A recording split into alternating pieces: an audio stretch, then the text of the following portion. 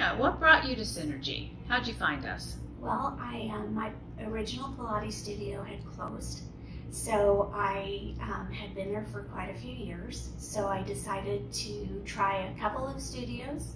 I think I went to five different ones, and Synergy just um, I think the availability of the classes, there were lots of classes offered.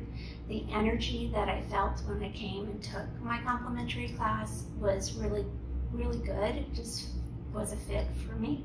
The biggest thing that I feel I've accomplished is um, my form and technique has improved with the instruction that I've been given. And of course, my strength, I feel stronger.